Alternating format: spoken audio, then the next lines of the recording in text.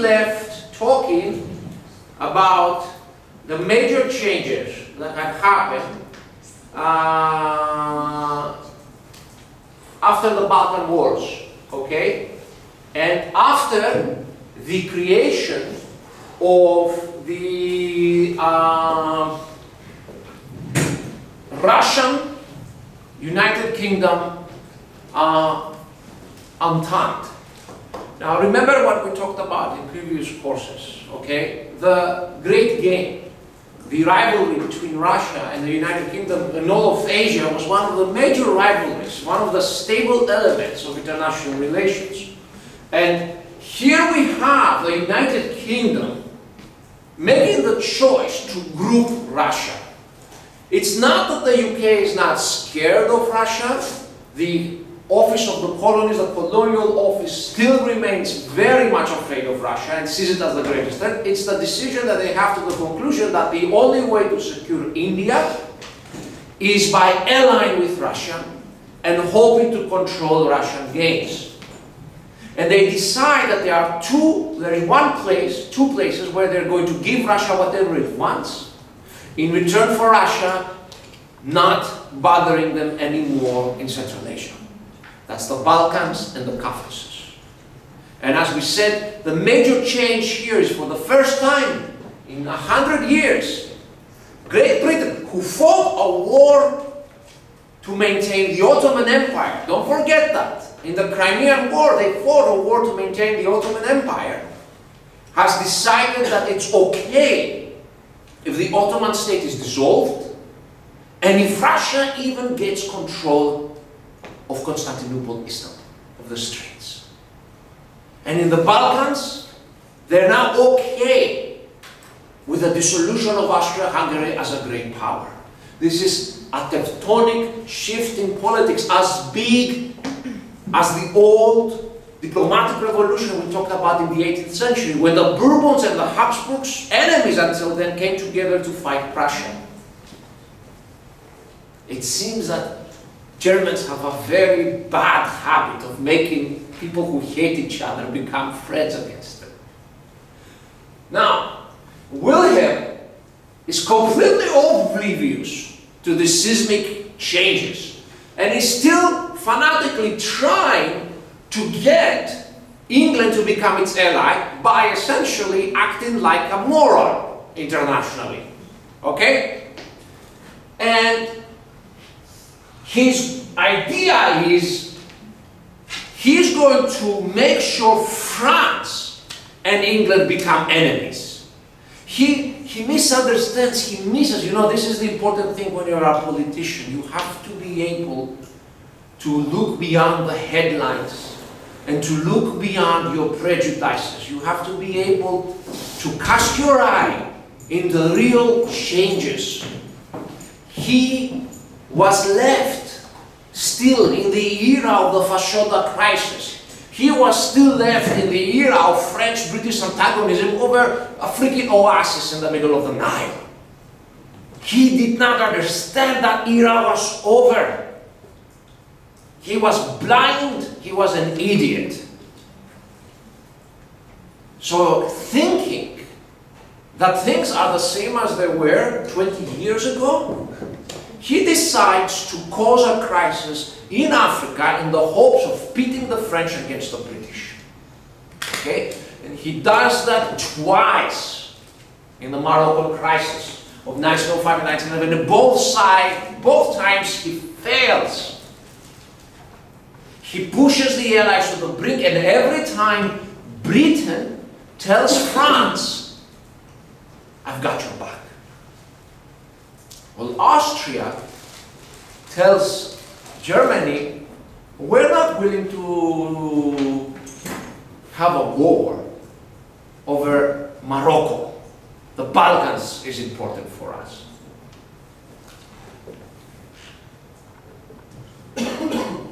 What's going on here is that Europe is not important anymore.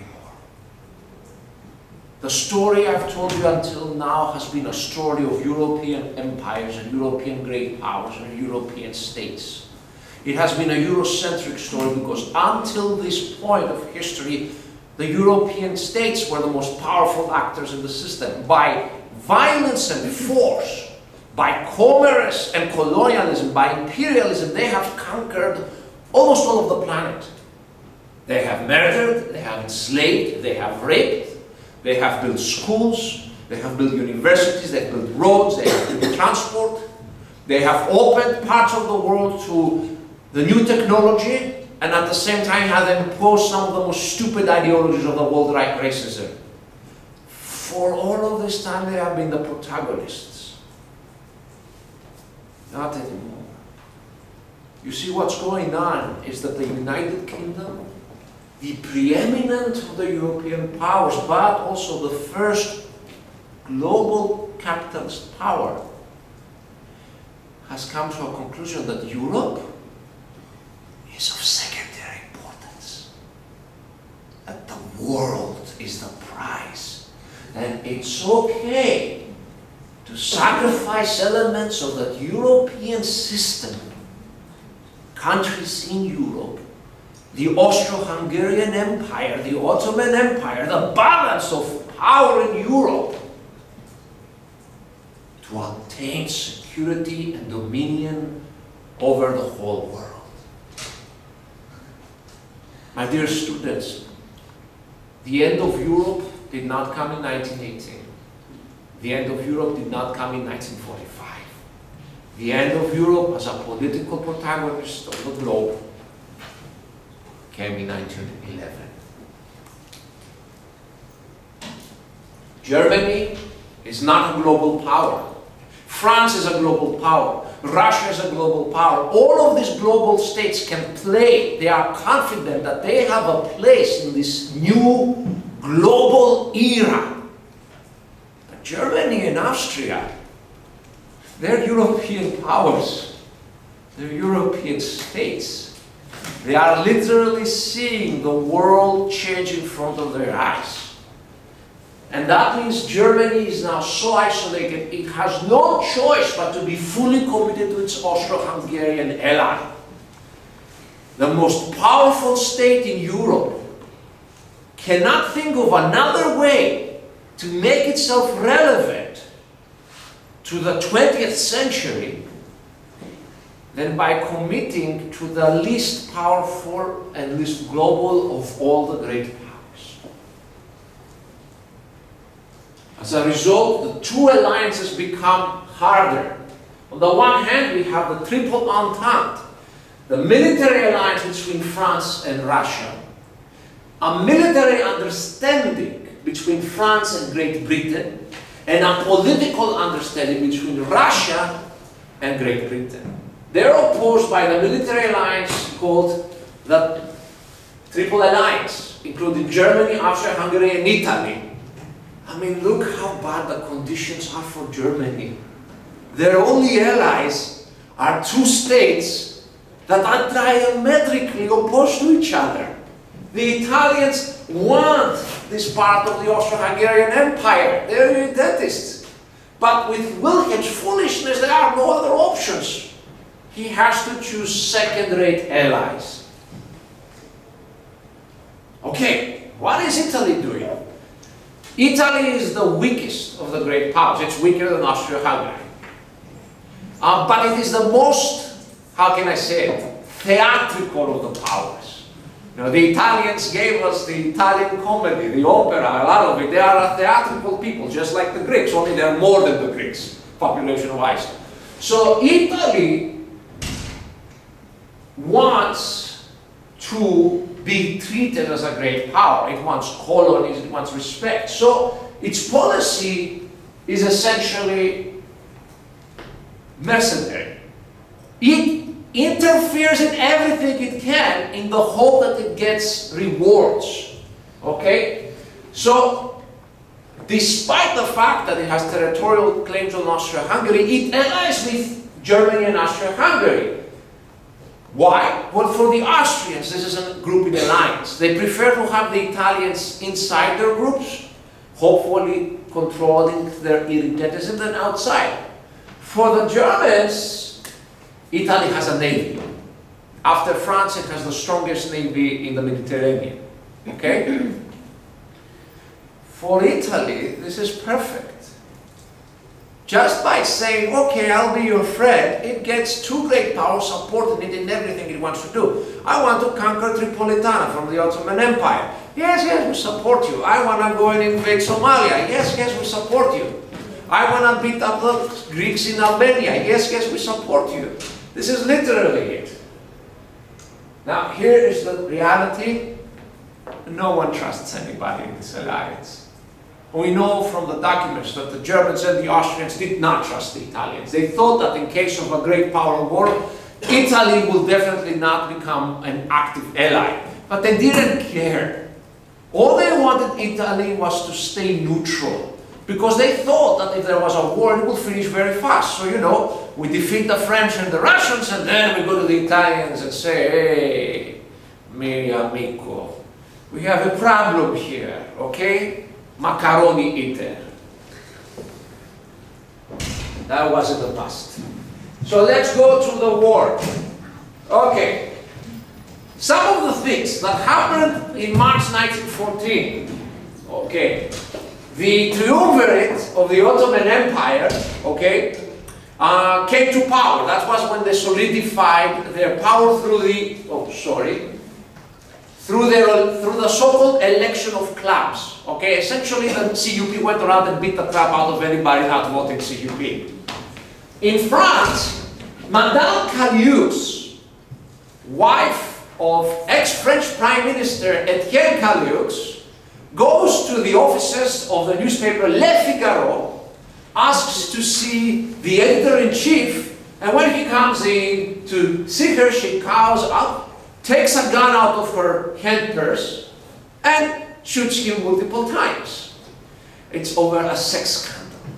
Yes, even back then they were like about it. And in Chicago, at St. Patrick's Day, for the first time in the history of the world, they make the beer green.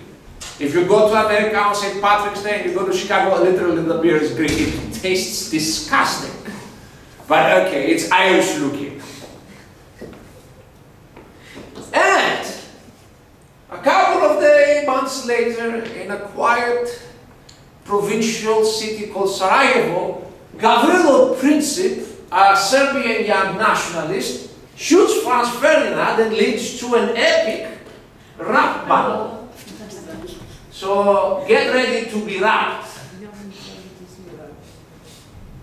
We are really, you know, at the cusp of technology in this class. Well, the best music for you guys. Let's see will it work.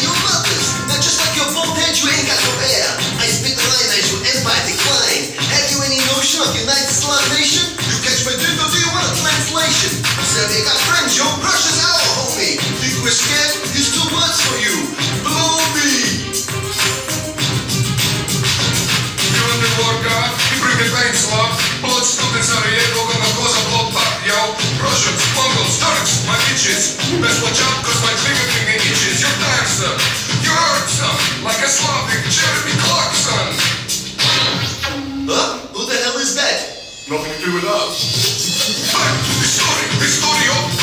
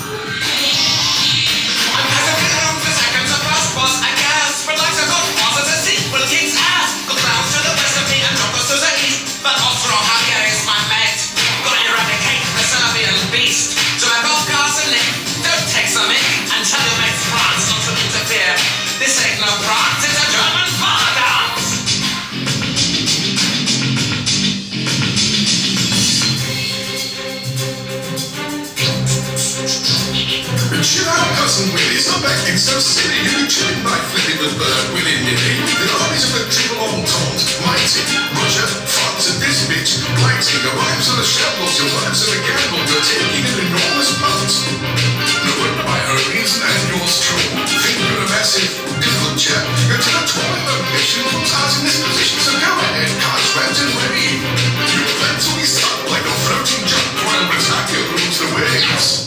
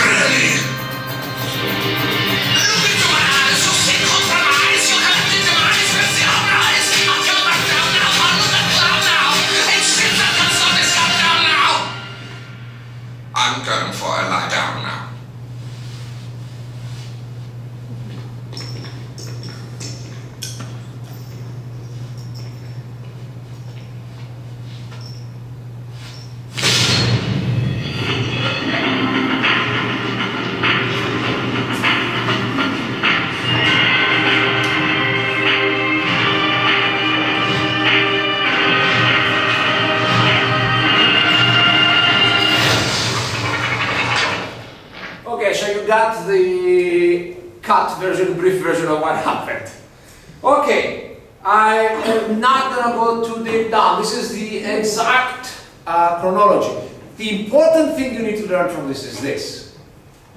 The assassination happened on 28th June 1914. The war actually started on August 1st, 1914. That means there was a whole month between the triggering event and the start of the World War. In another name, it took a month for the war to start. It took a month for the great powers to decide they wanted war. This was not some freak coincidence, some unthought, crazy stunt. There was more than enough time to think.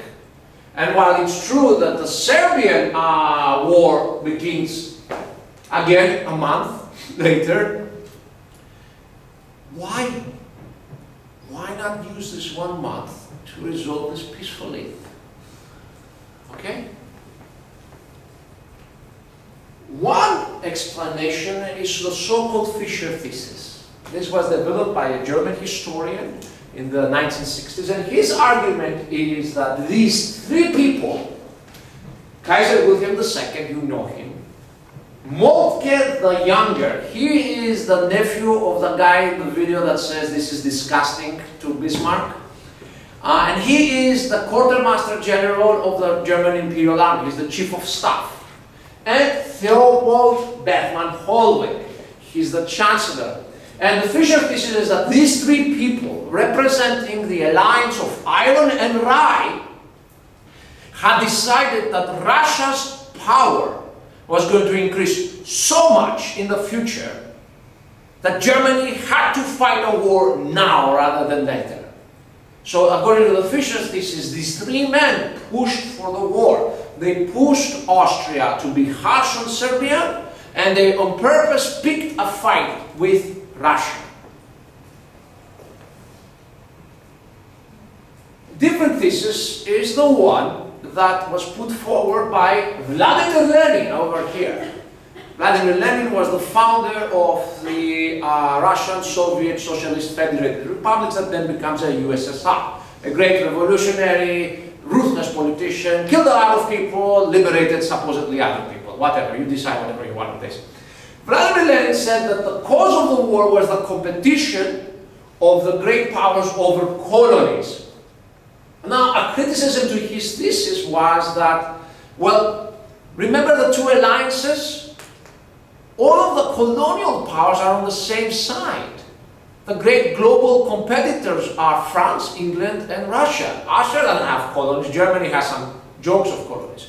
So it doesn't work perfectly. But on the other hand, remember this.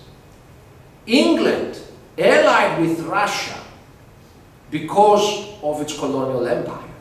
So in this sense, it is true that the colonial competition played an important role in driving England to give unconditional support to the Russians in the Balkans.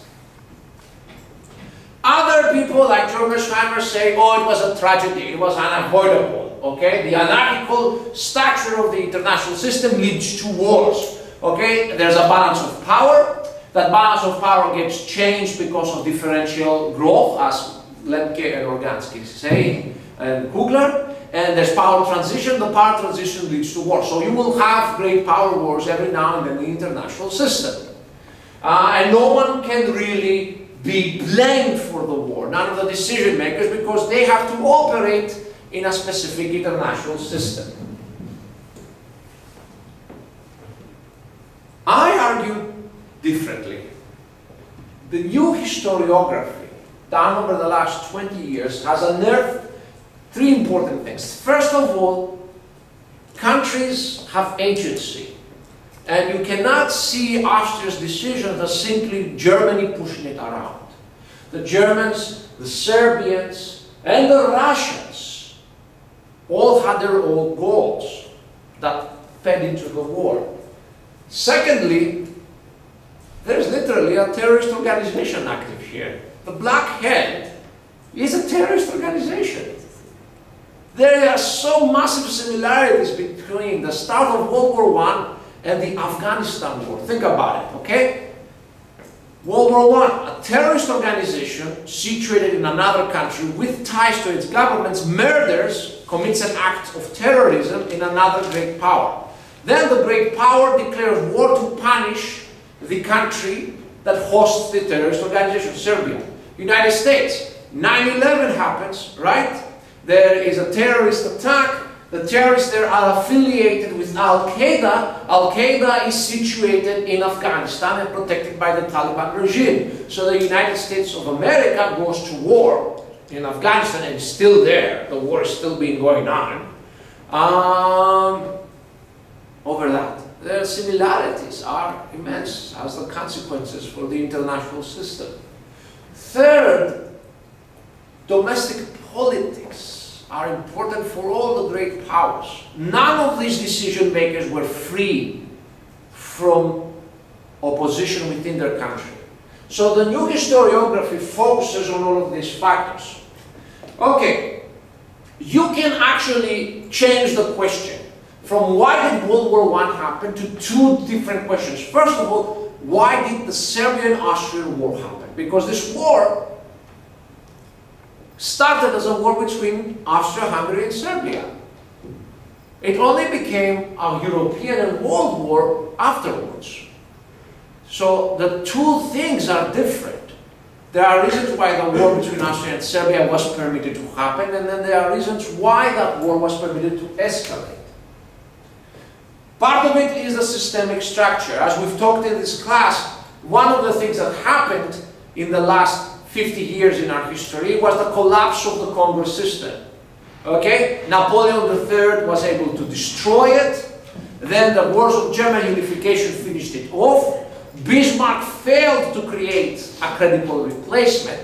So what this meant is that in Europe there wasn't any system that could permit the great powers to resolve their differences in a cooperative manner. Which means that, well, if the only way you can get what's rightfully yours is by beating the crap somebody, you're gonna beat the crap out of somebody. If there's an ability to go to court, then you're gonna go to court.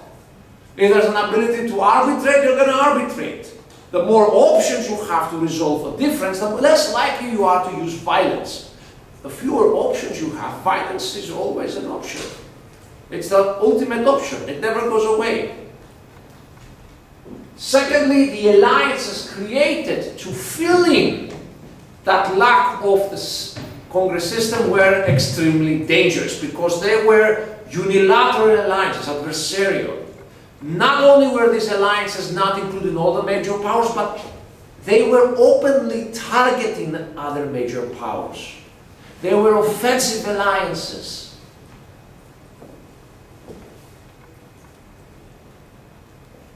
Secondly, we've seen that the last 10 years of the history of Europe, especially in the Balkans, was one of repeated crises.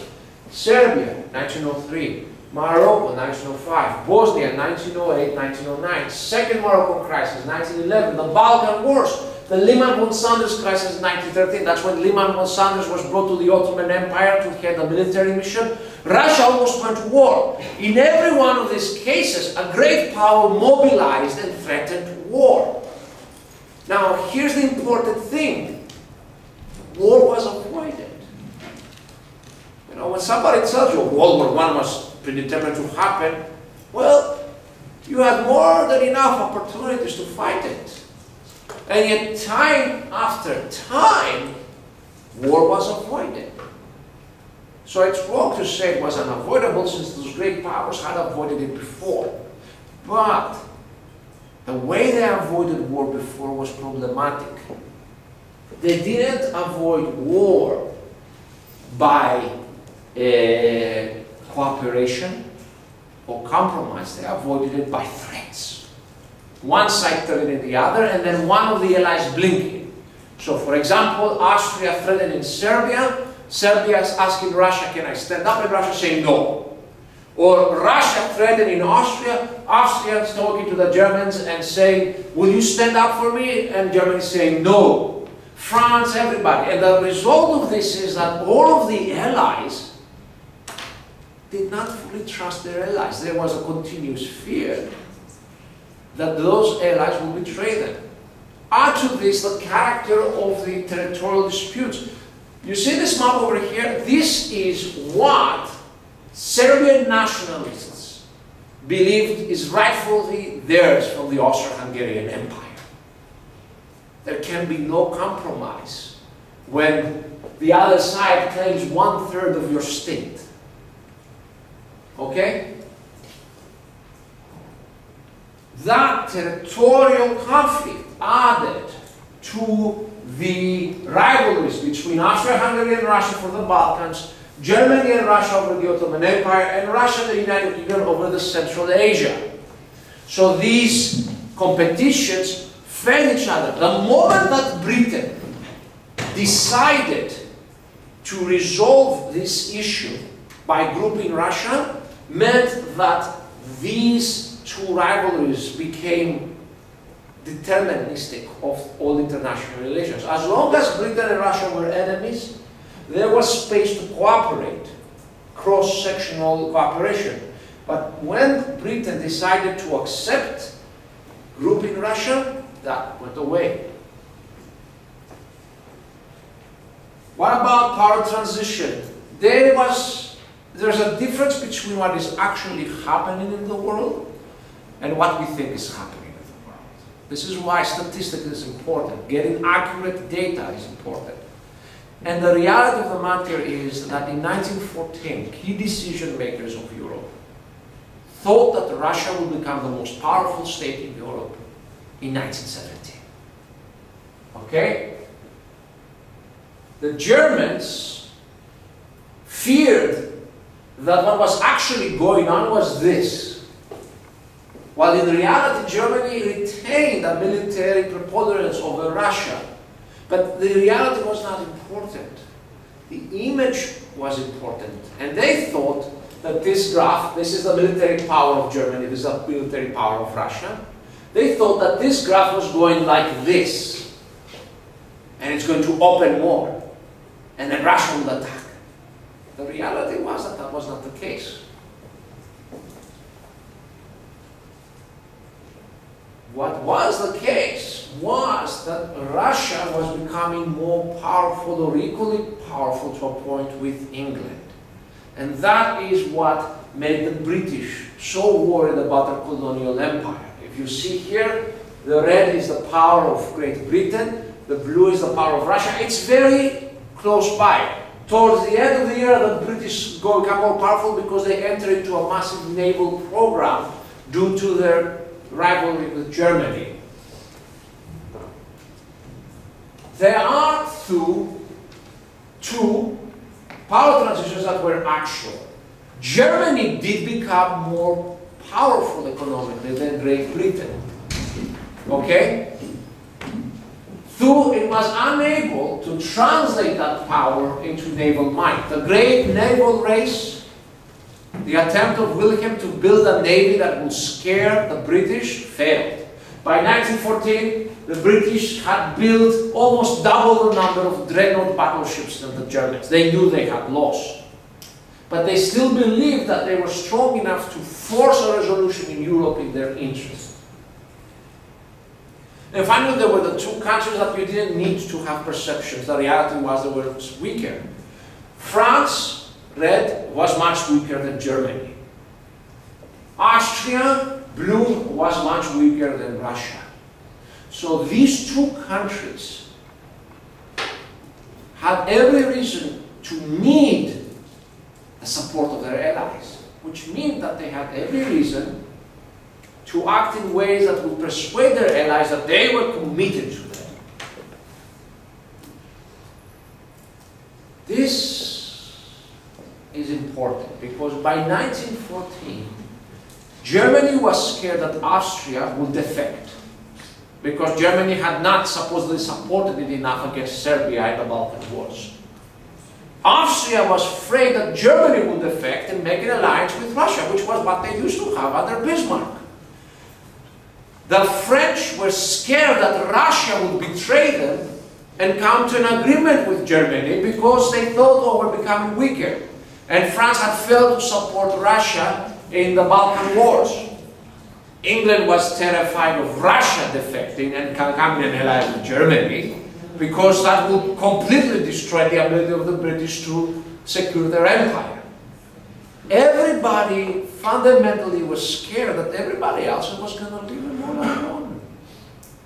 So they were now willing to do anything to persuade their lovers, oh, or their allies, sorry, same thing, that they are loyal. To this, you can feed ideology and history. Serbia and Russia had a very close relation because of pan-Slavism. By 1914, important elements of the Russian royal family, including three cousins and brothers of the Tsar, were ardent They wanted to see Austria-Hungary destroyed. Okay? France and Germany, remember, they had a small issue called Alsace-Lorraine. And while revanche was not exactly driving French policy, there was a popular, a popular view in France that war with Germany was inevitable and righteous. Politically, domestic politics everywhere was dangerous. In Serbia, you had on one hand Dragutin Dimitrijević, leader of the Black Hand, also known as Apis, conspiratorial, okay? Leader of a secret organization and also one of the people who murdered the Serbian king in 1903. Opposed by the Prime Minister Nicolas Pasic. With the engraftment of Serbia in 1913 in the Balkan Wars, there was a debate on whether the new territories will be ruled by military law and under the control of him, or were they going to be incorporated into normal civil law of Serbia and controlled by the prime minister?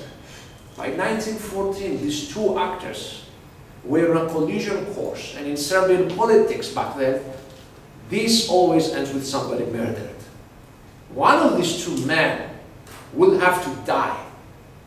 But the result was that Pasic was very scared and afraid of accommodating Austria-Hungary during the crisis because if he accommodated Austria-Hungary, he was scared legitimately he would be killed by Serbian nationalists. They just killed the Austrian heir. They wouldn't have a problem to kill a Serbian prime minister.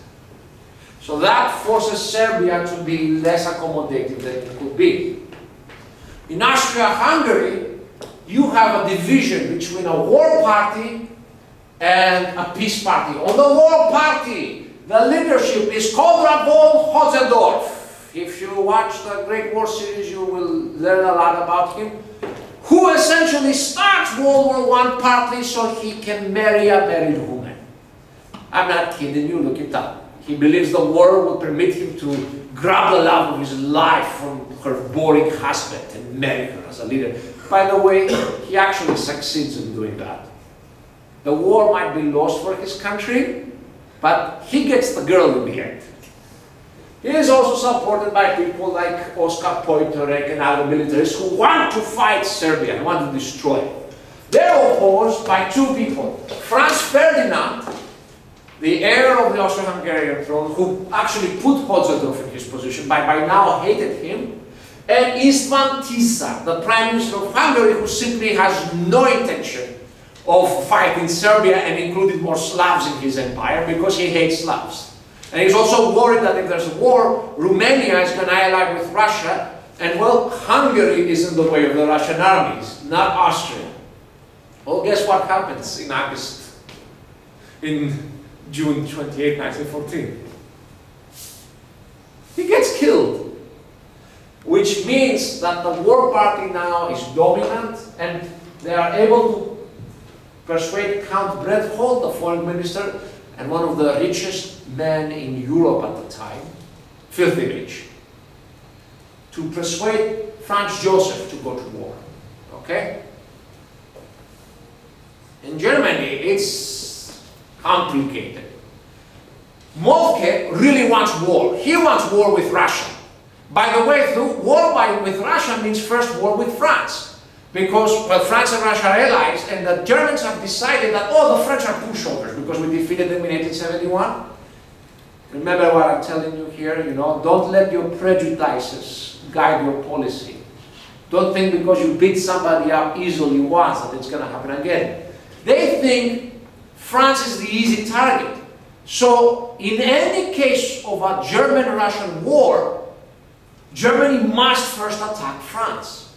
Even if France wants to be neutral, Germany must attack it.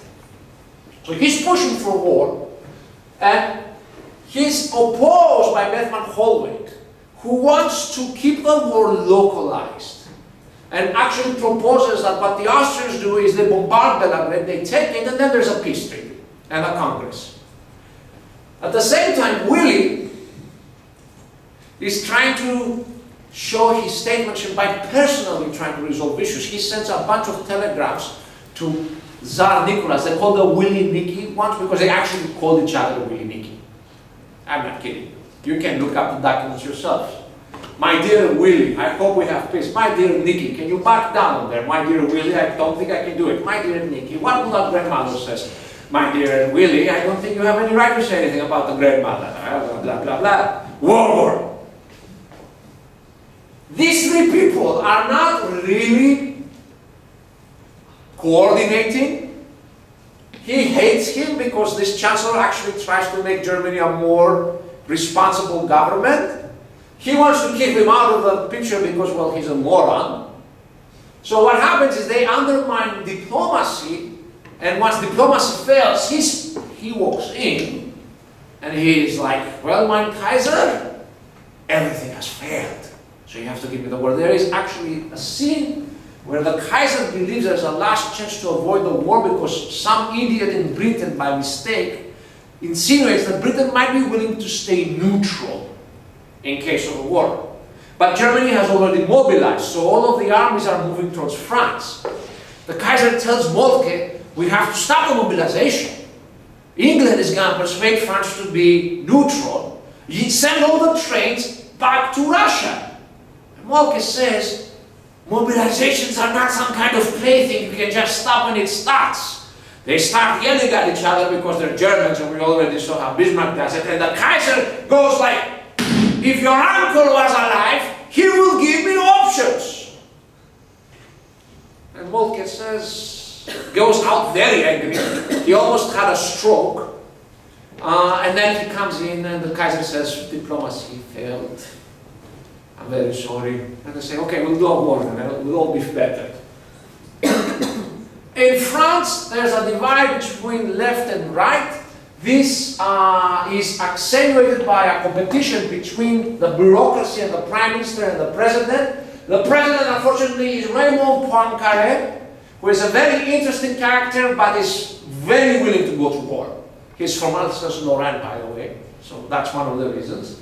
And he feels that he has to act to support Russia against Germany because if he doesn't, he will lose elections and his government to the left. So he's afraid of the rise of the left. In Russia, again, there's a war party and a peace party. In Russia, the war party is much more powerful. Includes people like Zelensky, the commander-in-chief of the army, Sukhomlinov, the chief of staff, Krivoshein, the agricultural minister, and they're pushing for war.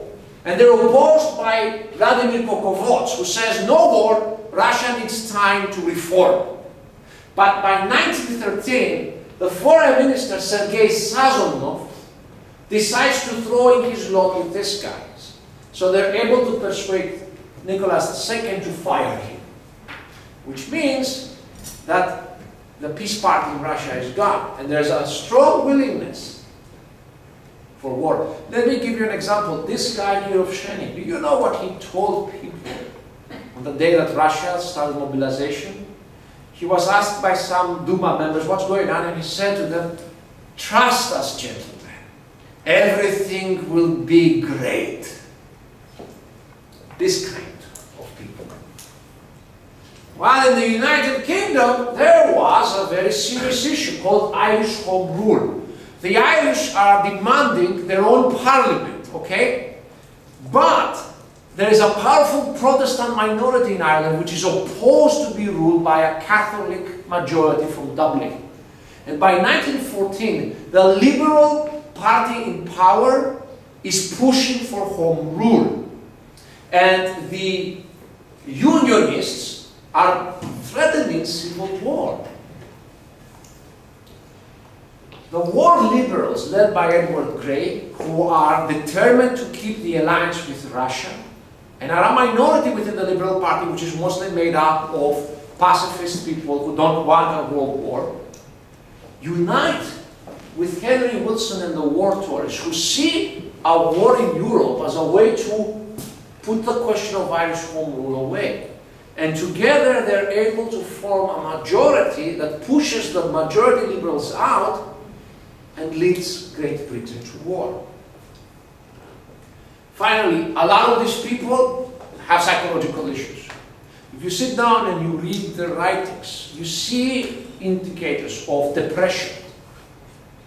Uh, Bethmann Hollweg characteristically said, I can see that one day my hometown in Prussia is going to be overrun by the Russian hordes and all of my trees will be cut down and destroyed. Some of them had this sense of honor which precluded them accommodating because they were like, I'm an honorable man.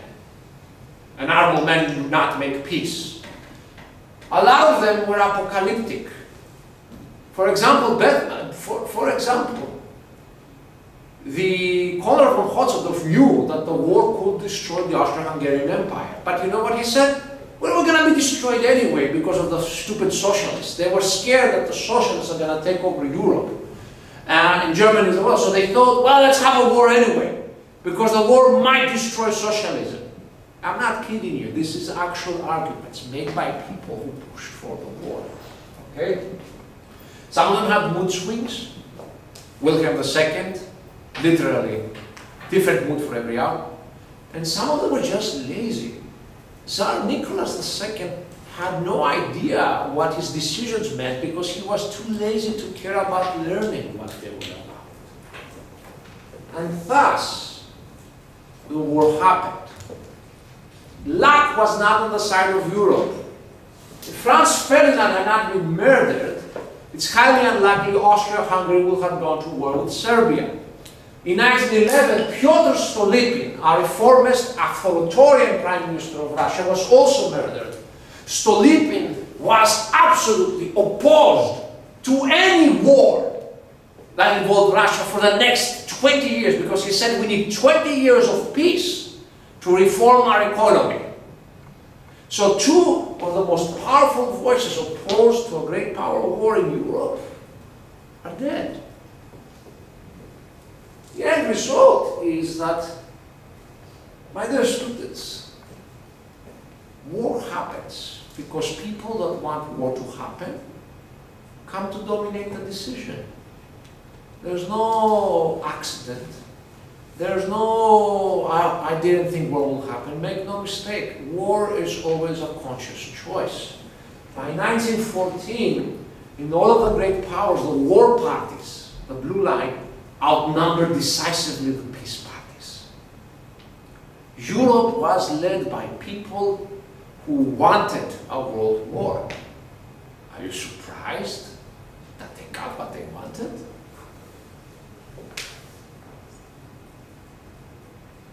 Could the war have been avoided? These are interesting.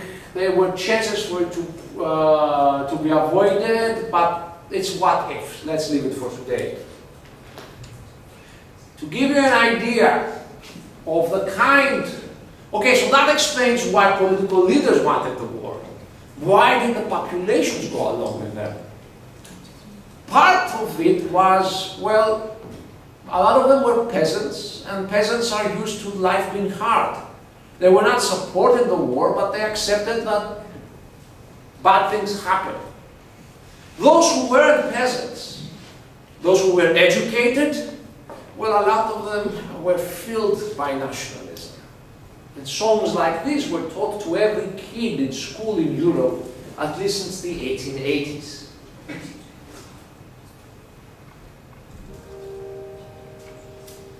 Enfant, regarde sur ces cartes ce point noir qu'il faut effacer. De tes petits doigts, tu l'écartes. En rouge, il faut mieux le tracer. Plus tard, quoi que sort te fasse, promets-moi bien d'aller là-bas, chercher les enfants de l'Alsace qui nous tendent leurs petits bras. Puisse, en notre chère France, les rameaux verts de l'espérance fleurir par toi, mon cher enfant. Grandis, grandis, la France attend. To rid the map of every trace of Germany and of the Hun, we must exterminate that race. We must not leave a single one. Heed not their children's cries. Slay all now, the woman too, or else someday again they'll rise. Which if they're dead, they cannot do. Ein Feind ist unserer und einer allein. Schon meißelt der Deutschlands Grabstein. Voller Hass ist sein Busen voller Neid und voll Pein. Ein Feind ist unserer und einer allein. Nun hebt der Freveler die Meucheln an. Sein Name, du kennst ihn, ist England. This is literally the kind of thinking. Okay, let's. So, I left you at the break with the start of the World War. We're going to go through the whole World War briefly. Don't worry, briefly, and we're going to end the class with the end of the war. So, let's start with 1914. Don't be scared of the war. The war has erupted. Okay, Serbia, Russia, France, uh, the United Kingdom, and Belgium are at war with Austria-Hungary and Germany. Uh, quite quickly, both sides try to win over Italy, which declares itself neutral to the war, as everybody expected. And in order to get Italy to come to their side, both sides offer it promises. The Central Powers offer gains in the Balkans, Albania, parts of Greece, and in North Africa and the Ottoman Empire. So yes, the Central Powers are already offering parts of their future ally to get Italy. The Entente offers gains against Austria in the Balkans and the Ottoman Empire. Italy decides to stay out of it for the time being, trying to see how it plays out. In Asia, Japan, uh, as part of its alliance with the United Kingdom, declares war on Germany and attacks the uh, German colonies in China Pacific. For the Japanese, this is totally an opportunistic attack, a chance to essentially get territory. Since the Germans and the Austrians pretty much cannot defend their colonial empire anymore. Both sides try to get Bulgaria to enter the war. Since if Bulgaria enters the war, it could either destroy Serbia by outflanking it, or if it became an ally of the Entente, it could even get Romania and Greece to enter the side of the Entente and create a powerful Balkan front that will destroy the Austro-Hungarian Empire. The Central Powers offer Bulgaria Serbian and Greek territory, essentially what is today the former Yugoslav Republic of Macedonia. The Entente powers offer Serbian, Greek, and Ottoman territory again. The Ottoman Empire is kind of like something everybody offers. The king of Montenegro would have preferred to remain neutral since he saw Serbia as a threat to his own independence, but he rules a kingdom that has a lot of pro-Serbian nationalists, so he is forced to join the war on the side of Serbia. The Entente also tries to get Greece to enter the war. It offers gains against the Ottomans, Bulgarians, and Serbians. But this leads to a division in Greece between, on one hand, the king, King Constantine, who is a bridegroom of the Kaiser, is married to, her, to his sister, and also somebody who was educated in the German military academies and is very pro-German and prefers neutrality, and the Greek Prime Minister Eleftherios Venizelos, who wishes to enter the war because he believes Greece's future is tied to the great naval powers, which are France and England. The war happens as this. The Germans uh, invade Belgium as part of the Schlieffen Plan, hoping to defeat France very quickly.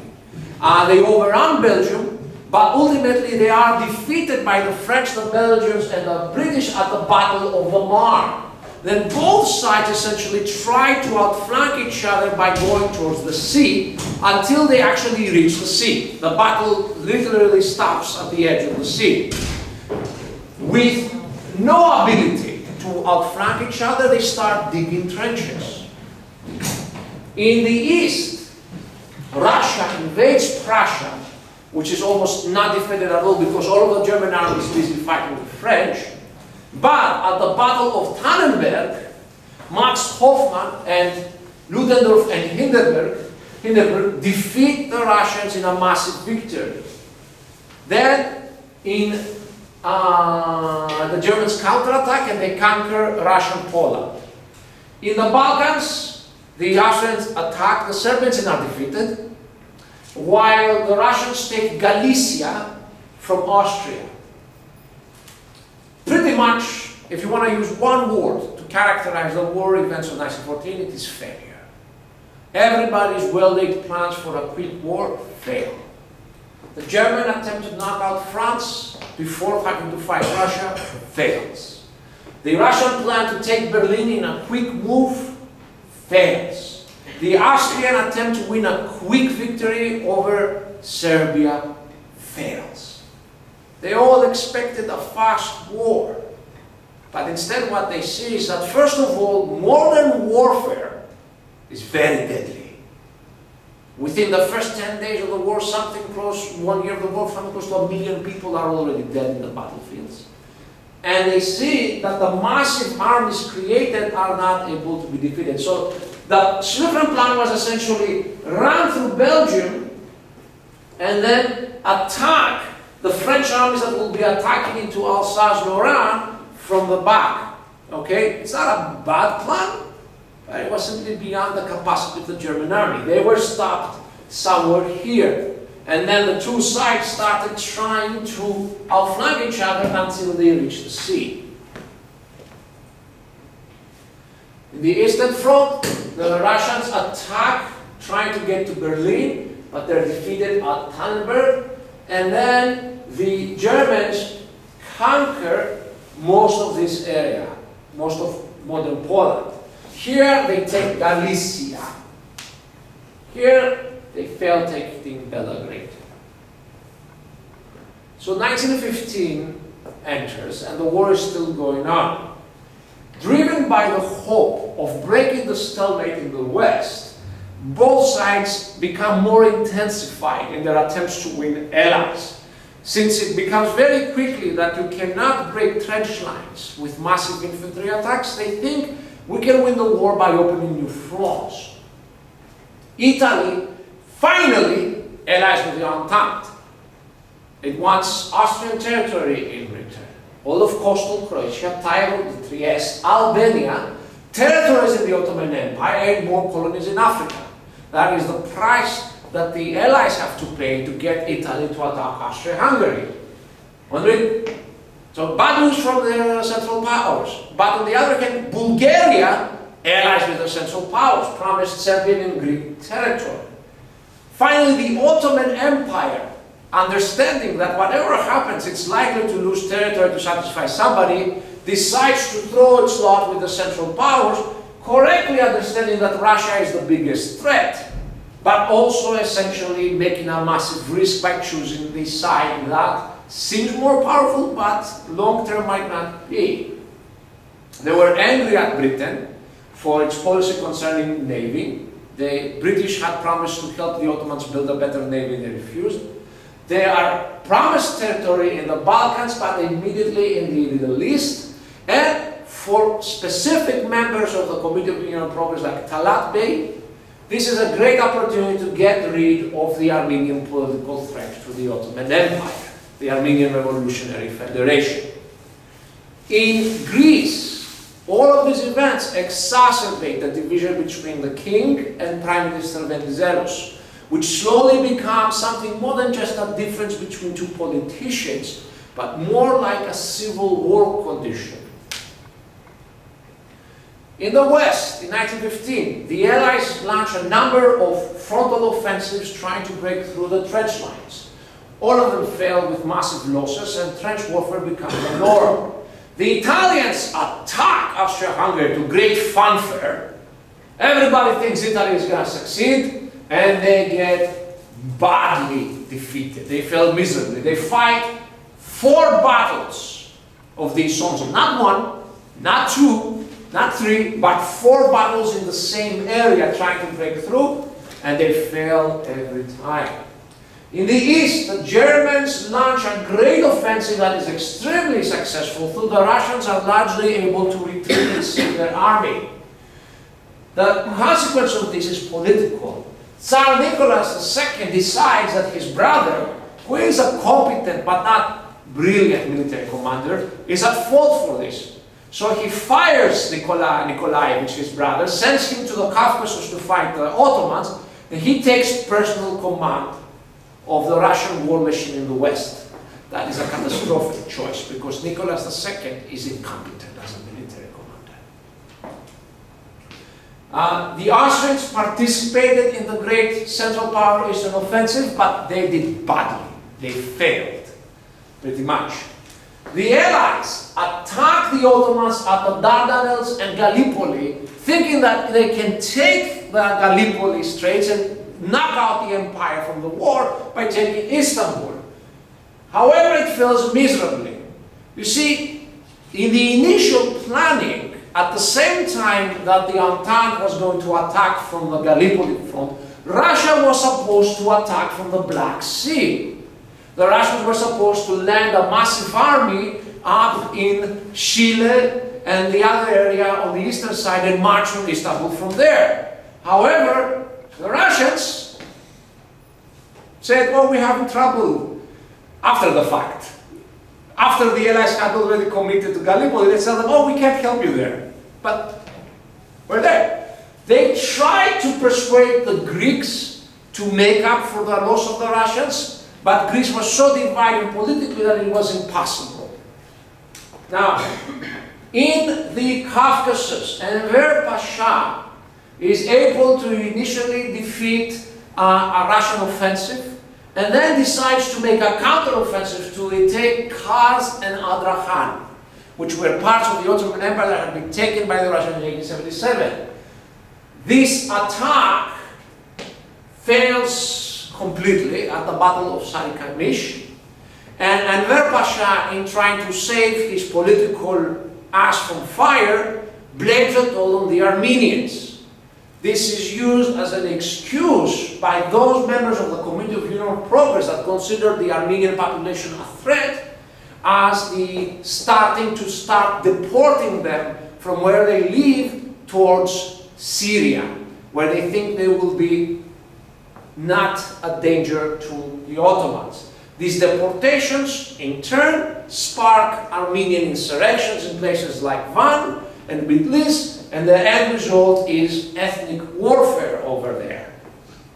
Now, Bulgaria, Austria and Germany together like bros attack Serbia from everywhere and of course defeat it.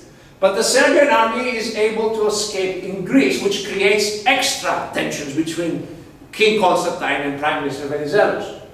Uh, at the same time, with the failure of the Gallipoli campaign, the Allies are seeking a place to park their army, and they take advantage of the Greek situation, and both the Allies and the Bulgarians violate Greek neutrality and send their troops into Greece and start fighting in Greece.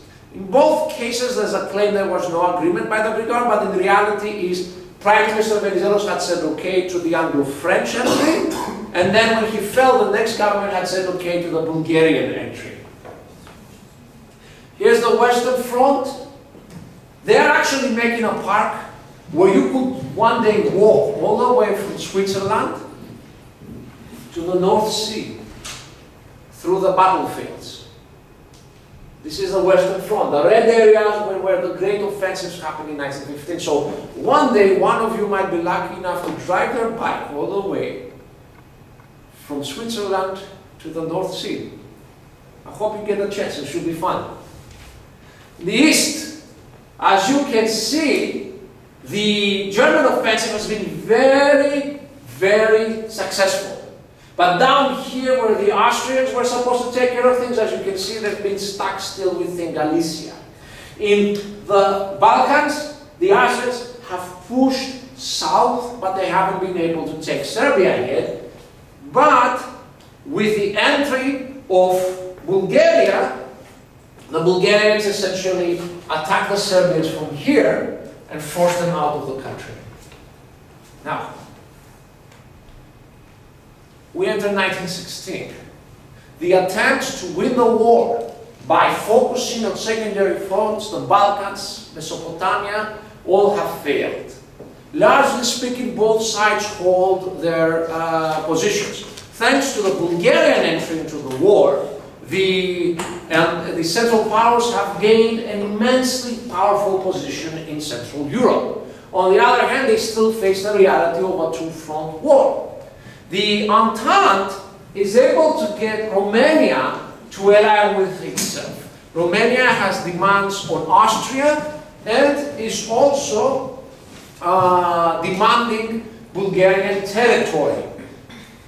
The Romanians chose a very bad time to do. They thought that the Russians would support them by a great attack. Unfortunately, the Russians and the Romanians do not coordinate. So what happens is Romania ends up having to fight by itself, Austria, Germany, and Bulgaria, and is badly defeated. In Greece, you really have a civil war, an allied invasion. South Greece becomes occupied, while North Greece is under Prime Minister Venizelos, who creates a rebel government called the National Defense, which enters the war on the side of the Allies. And Greece enters what is called the Great Schism, or the Hasmos, where essentially every Greek is either a Venizelist or a Constantinist, and they hate each other more than they hate anybody else in the world. This is going to have a big impact later on in the history of Turkey. 1916, in the Western Front, the Germans launched the Verdun Offensive. Okay? The plan here is brilliant. The idea was of Quartermaster General Erich von Falkenhayn and was essentially the way to win in the West is to bleed France dry. So we're going to attack this area in Verdun, which is important uh, for the French. And what's going to happen is we're going to force the French to put more and more troops there and we're going to kill them. We're going to bomb them, we're going to gas them, we're going to kill as many French soldiers as we can. So France will bleed dry. Its army will not be able to replace itself. They'll have to surrender. While they do this, the British launch a great offensive at Somme, hoping to take advantage of the Battle of Verdun to break through. The German plan works greatly. The French lose lots of men. The problem is that the Germans themselves become focused on Verdun. And they start feeding more and more troops into what was supposed to be a diversion. So both sides are essentially throwing away their lives for an area that is not that important. So all of them fail, and the stalemate continues. The Austrians launch a massive offensive under Conrad von Hötzendorf uh, against the Italians, and they are very successful, and the Italian counterattacks fail, and that's the sixth, seventh, eighth, ninth Battle of Isonzo. So we already had one, two, three, four, five, six, seven, eight, nine, ten battles in the same area, Isonzo, okay? In the Eastern Front, after careful preparation, using some of the most innovative new tactics that everybody has learned from two years of war, and under the command of the brilliant General Brusilov, the Russians launch a massive military attack against Germany and Austria. This is very successful. It comes very close to breaking the Carpathian barrier and leading to Cossacks having their breakfast in Budapest. If that had happened, the Hungarian government would have broken and surrendered rather than face the destruction of its heartland. Very successful, but it fails. Why? Because while Brusilov is making his attack in the south, the other Russian generals who were supposed to attack Germany in the north are too late. They start too late, which permits the Germans to defeat them in detail and then turn against Brusilov. The Balkan and the Caucasus, as I said, Romania is quickly overrun by the Central Powers, so it is able to hold the line. And Bulgarian and German troops are holding up the Allied army in the city of Thessaloniki, Salonika, Selanik, where they call them the gardeners. Or as one German commander said, the greatest free prisoner of war camp Germany has ever had, since 400,000 Allied troops are busy just in Salonik rather than fighting somewhere else. The Ottoman army of the Caucasus is destroyed by the Russians, who are very successful. The massive Russian counterattack breaks through and takes the city of Trebizond. Essentially, at the end of 1916, there is nothing between Trebizond and Istanbul. There is not one Ottoman army available the Russians have all of Anatolia open. As a result of this, the ethnic cleansing against Muslims in the Caucasus by the Russians and the Armenians increases, and the ethnic cleansing, which is called a genocide outside of Turkey against the Armenians, also increase. By the end of this process, one-third to 40% of the Armenians of the Ottoman Empire will be dead, and about 20 to 30% of the Muslims of Eastern Anatolia are going to be dead. This is the Western Front. Verdun is over here. You see? This is where Falkenhayn thought he would bleed France to death. The Somme offensive is over here. Both fail. That's what they get. This is the territorial increase. We're talking about millions of men fed into here, and all they get is some little tiny parcel of land.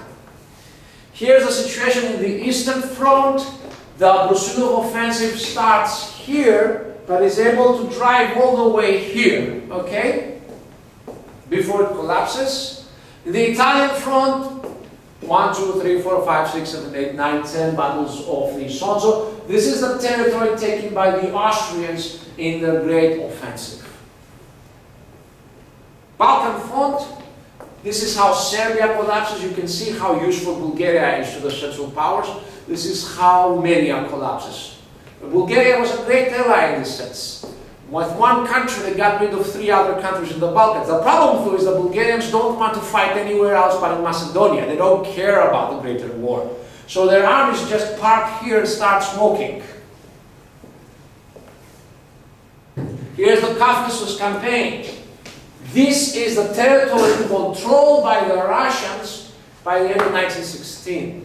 This is Trebizond. There is, again, I have to say this, there is no Ottoman army left here. There are Ottoman armies down here, okay, fighting against the Mesopotamian and the Palestine campaigns of the Allies. There are Ottoman armies fighting Romania. But there are literally no Ottoman armies left in Anatolia. The reason is simple. Railways. The Ottoman Empire does not have the railway and logistical network to move its armies around. Once an army is posted somewhere, it takes a year to move it. So the powerful armies that fought at Gallipoli and Çanakkale, all they can do is smoke cigarettes while the army of the Caucasus is destroyed. Indeed, in the end, the Germans say, why don't you just send some of these guys to Galicia? So my good friend Onur's great-grandfather ended up fighting Romanians and Russians in Galicia. And at the end of the war, he actually walked all the way from Galicia back to Istanbul. Think about that as a hard life. Why is there no peace? We are two years into this war. Millions have died. Nothing has been succeeded. Well, the main reason is the war aims. As millions have died, no government feels that they can make peace without somehow justifying those sacrifices. And how can you justify the sacrifices? By great gains. The Central Powers, they want to end the war, changing the map of Europe. Bulgaria getting what is today the former Yugoslav Republic of Macedonia and most of Serbia. Okay? Germany getting a protectorate over Ukraine and Belarus, and also directly putting under German control the Baltic states and Finland. Okay? Austria-Hungary regaining northern Italy, Venetia, gaining Albania, and turning Montenegro and whatever is left of Serbia into protectorates, while Romania is uh, shared between the two sides. The Ottoman Empire gaining the western Aegean islands over here, regaining Tripolitania over here, and in the east, gaining territory in Persia, the state of Azerbaijan, and Kars Ardahan. So these are these are gains that cannot be attained without destroying the Russian Empire. The Ottomans hope for vengeance Intikam, this is a propaganda poster from 1914, for the losses of the Balkan Wars. But the Entente also has maximalist gains. This is what France would like the world to look like. Look, look what we're talking about. Austria-Hungary is dissolved. Romania, Bulgaria get massive territory, okay? Uh, Germany is dissolved. Instead of Germany, you have a whole bunch of states. Also, the French get the right bank of the Rhine, going back to neutral, to the natural borders, okay? The Ottoman Empire is dissolved. A state of Turkey is created here in Ankara. The Greeks get Izmir. Istanbul is given to the Russians. This is given to the Italians. This is given to the French. The English get and the Russians get the Caucasus. So to get this kind of a map, you have to destroy Germany and Austria-Hungary. You have to completely eliminate them as states. The Russian and British and French uh, claims in the Middle East are known as the Sykes-Picot Agreement. Actually, the correct term is Sykes-Picot-Sazonov, because Russian Foreign Minister Sazonov played a crucial role. You all know this map. But let me explain how massive the change would have been. The Greece would have gotten ID. Italy would have gotten a zone of influence or control of Antalya. France would have gotten over here. And Russia would have gotten the Caucasus and Istanbul. The British agreed to Russia controlling the Straits. By the way, there's no Armenian state, and there's no Armenian state because the Russians never intended to make an Armenian state. We now know that at most the Armenians will have been permitted cultural autonomy, but nothing more.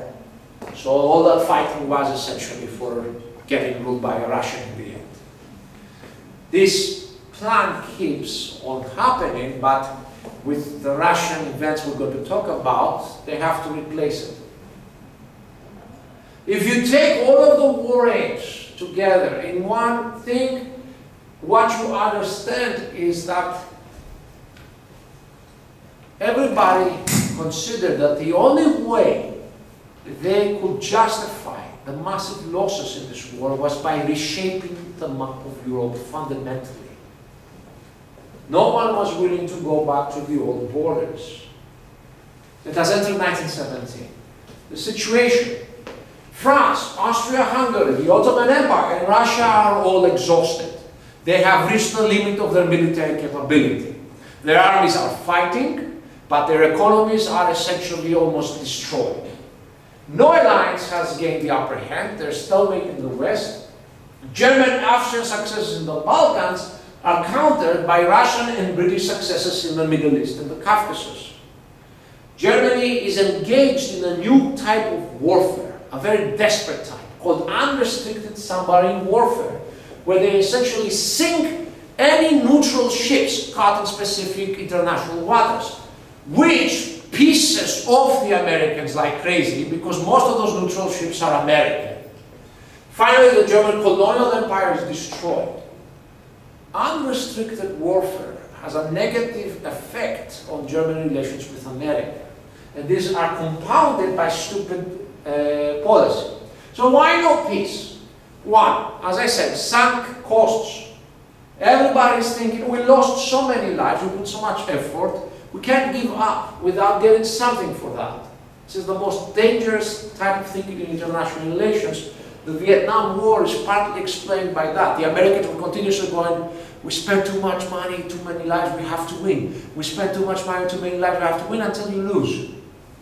Secondly, as you saw, the goals of everybody are maximalist. They require the destruction of great powers. Great powers are great powers for a reason. They can stand in war for a very long period. While all of the other allies are exhausted, Germany and England are still able to furnish massive military armies and support, while the United States is providing massive economic resources to the Entente. And fourth, Everybody thinks the next victory is going to be the one that works. Everybody believes that. They hope that the next victory is going to be the successful one. But what happened in the previous one was bad luck, incompetence, not something structural. 1917, the United States and Brazil declare war on Germany and enter the war on the side of the Entente. But the United States is not an ally of the Entente. Instead, it's a co-belligerent. This is going to be important for the peace treaties. Uh, there is anger over German submarine warfare, and there's a lot of money in the Entente by the Americans, so they can't afford to lose their investment. And finally, there's the ideology of democratic republicanism. They see Germany as an enemy of democracy. In Greece, Venizelos, with the support of the Allies, is finally able to dominate Greece. The king is exiled, and with force, Venizelos brings the country fully on war on the side of the Entente. In Russia, the defeats of the Great Brusilov Offensive, the economic stagnation, the exhaustion lead to a revolution, the February Revolution, which is headed by moderate elements of the establishment. So this is a revolution from the top. They force the Tsar to abdicate. And a new republic is declared under the rule of Kerensky, who is a social democrat or a socialist. But Kerensky makes a big mistake. Unwilling to lose the support of the Allies, especially for economic reasons, he decides to continue the war, a very unpopular decision for a lot of the people. He is able to persuade the Russian people to put one last effort in his Kerensky offensive, but that fails completely. And with the failure of that offensive, a small party that has become bigger thanks to the war, the Bolshevik party, is able to launch a revolution or a coup d'etat, you choose your word, in October and declare a new state, a Soviet state, the first socialist state since the Paris Commune of 1871. But the result of this coup or revolution is that the Russian armies stop caring about the war. Russia enters a period of civil war and revolution, just as it was about to win the World War. Ladies and gentlemen, my dear students, think about this. Russia, the czars, had come so close into attaining the goals which Catherine the Great had sought 200 years ago. There was literally nothing between Istanbul and Trabzon. The Russian armies could march all the way to Constantinople, burn the city to the ground, and no one would stop them. But right at the cusp of victory, Nemesis hit. Revolution happened, and those armies started marching back home. The Western Front, the French, under General Nivelle, who promises extraordinary launched the great Nivelle offensives which failed miserably and lead to massive mutinies by the French army that simply refuses to attack anymore. As one of the generals that replaces Nivelle said, from now on we're going to stay defensive and we'll wait for the Americans to come. The French army is done with attacking by itself. The British also launch offensives in support, but they also fail. In Italy, two more battles of the Isonzo happened. Yes, 10th and 11th. So 1, 2, 3, 4, 5, 6, 7, 8, 9, 10, 11 battles of the Isonzo. Okay? I mean, this Isonzo area is so perfect. People want to die in it all the time. Um, fail. And in the 12th battle of the Isonzo, the Austro-Germans defeat the Italians, drag them all the way back outside of Venice.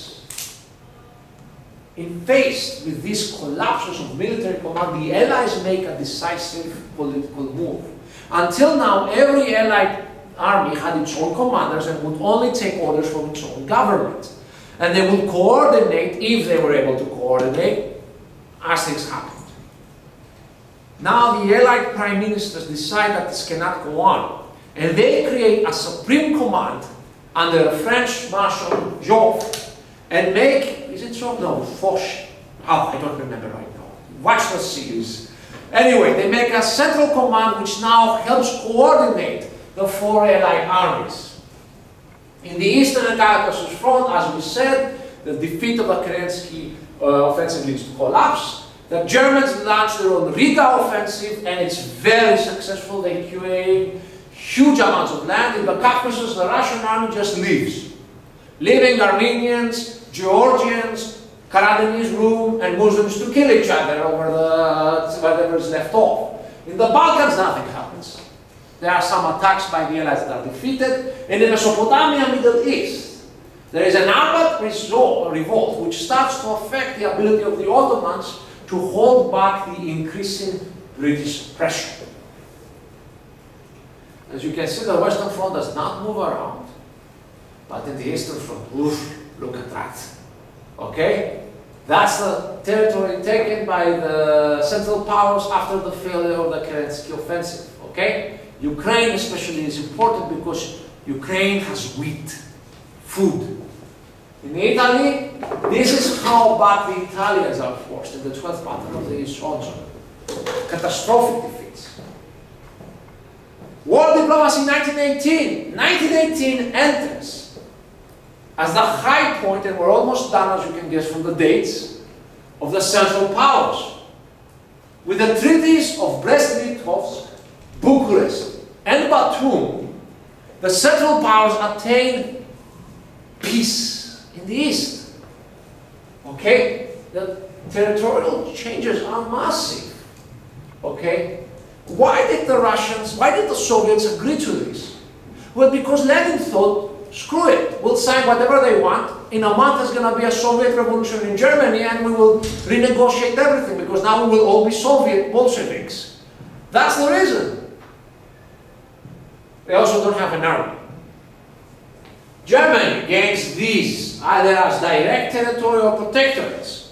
Austria gains these either as direct territory or protectorates. The Ottoman Empire gains these either as direct territory or protectorates. They won. They won in the East. Okay, can we make peace now? No. The Allies are not going to make any peace. US President Wilson uh, puts out his uh, historical 14 points. I'm not going to read them right now because there are a lot, you can read them up. But mainly he calls for a new way of doing politics, One based on capitalism, free trade, and the idea that national minorities and national groups should have their own states. An idea that directly threatens Austria-Hungary and the Ottoman Empire. What they really meant is this, the potential complete dissolution of Austria-Hungary and the Ottomans, the creation of a Polish state, which is anathema to Russia, Germany and Austria, the end of the Straits question, because from now on the Straits cannot be closed at times of war by anybody, the end of cabinet diplomacy, a system of public diplomacy, and a liberal nationalist democratic Vienna system perhaps. We will see. The Western Front, after the collapse of Russia, Ludendorff, now the person who really leads Germany, is able to move massive German armies from the east and use them to attack in his five great offensives, the Ludendorff offensives. The goal is to knock out France before the Americans arrive. Because the Americans don't have an army, they have to build an army from the start, so it's going to take time.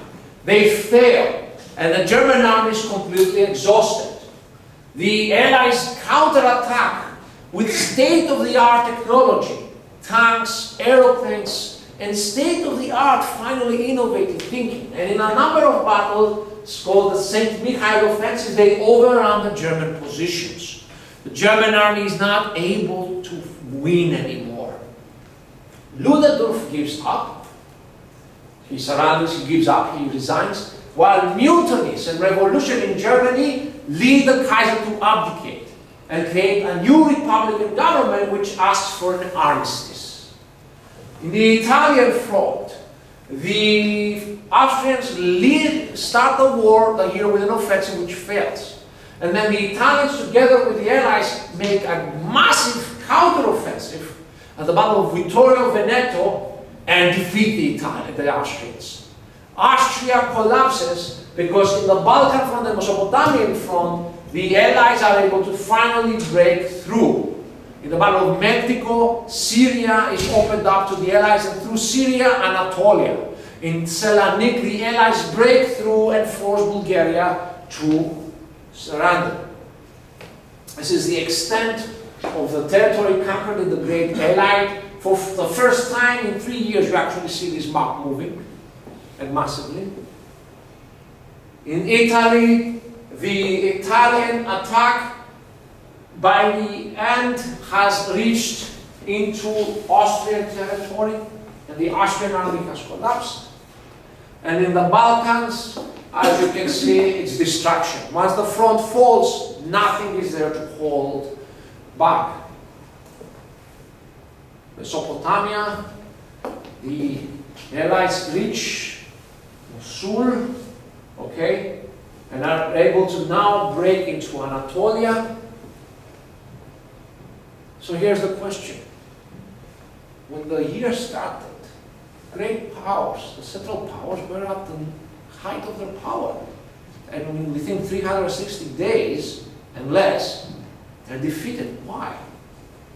First of all, while the German army was well taken care of, the German population was suffering hunger and war weariness. A powerful English blockade had denied Germany the ability to use a lot of foodstuffs. The hope that the Germans had that they could use Ukrainian food to feed their starving population failed because a civil war erupted in all of that area. it would just take too long. And the peace of Brest-Litovsk did not actually bring peace in this. The Germans still have to keep armies to police their new territories. In Austria-Hungary, the Czechs and the Hungarians become disillusioned with the empire. The Czechs are the oldest people of the Austrian Empire, and the Hungarians are, well, half of the imperial government. The Ottoman Empire is beset by political strife and national revolts. Bulgaria is exhausted. Bulgaria has been fighting almost continuously since 1912. It had the largest mobilization in the war, 25, close to 30% of the Bulgarian population fought in the war. There's nothing left. And all this is happening, and over the horizon, on the other side of the Atlantic, a five million man army is preparing to land in Europe. Finally, the German military commanders, knowing that they're going to lose the war if it continues and wanting to avoid being associated with a clear military defeat, decide that it's better to negotiate here so they can blame the civilians of losing the war. So what's the human cost? 68 million men were mobilized in the army that fought in World War I. That's more than all armies mobilized in European history in the previous 300 years. In just those five years, four and a half years, more men went to war than had gone to war in Europe in the rest of our class. Okay? 10 million soldiers died, 21 million were wounded, 6.6 million civilians died. The war cost 300 billion US dollars. To make things even worse, the end of the war coincides with the great Spanish flu epidemic, which kills 50 million people worldwide. By the end of 1918, 120 million human beings have died in the space of four and a half years. The war is a global catastrophe. We're going to stop here because we got to see how do you make a new world out of the literal ruin of the old one. Any questions? Okay, everybody, I'll see you next week.